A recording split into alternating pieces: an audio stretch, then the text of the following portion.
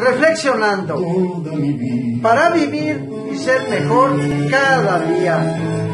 Nunca, pero nunca habrá grandeza donde falte la sencillez, la bondad y la verdad.